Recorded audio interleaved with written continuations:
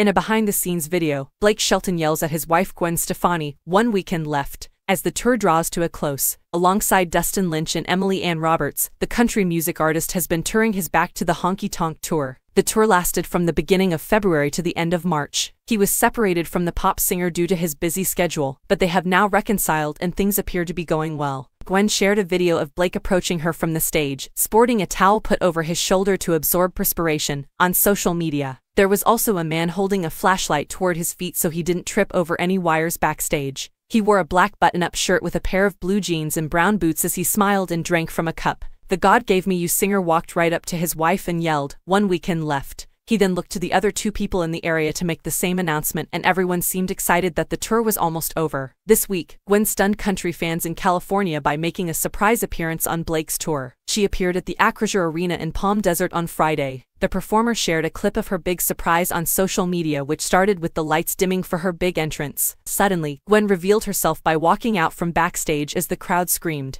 Blake feigned surprise as his wife strolled in wearing tight green pants and a matching crop top. The clip ended with the No Doubt performer singing her hit Don't Speak.